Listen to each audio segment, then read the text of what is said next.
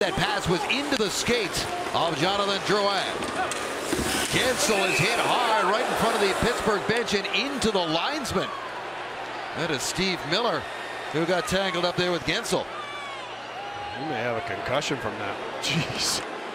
Coming down with so much speed, and he, he chips the puck past the linesman, and the linesman does a good job of trying to get out of the way of the puck, and as he's focusing on that, I mean, Guentzel just runs right into him. Mean, it's an unfortunate thing. The, there's the chip, and the puck hits the linesman, and as Byron gives Guentzel a shove, uh, there's just nowhere for the linesman to go. I mean, he's he's in this position to make sure the play stays onside properly, and and right there is the collision. It looks like Guentzel's going to be okay, and linesman Steve Miller's up and at it.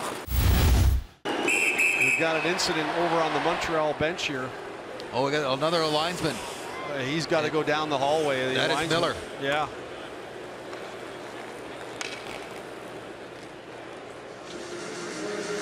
It's been a it's been a different kind of night. The- It has been.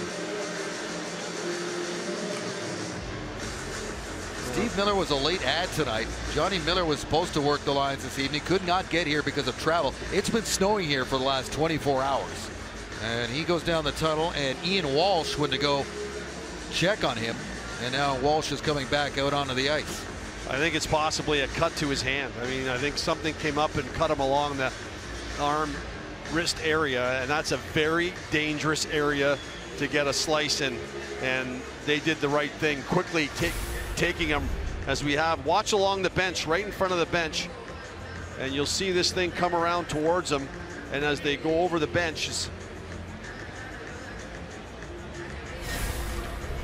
just can't pick it up. It's too far away. But it was quick. I mean, they grabbed him and he was gone. And the doctors for these teams are now sitting quite a bit lower, right behind the benches and easily accessible. So he'll get the attention he needs immediately.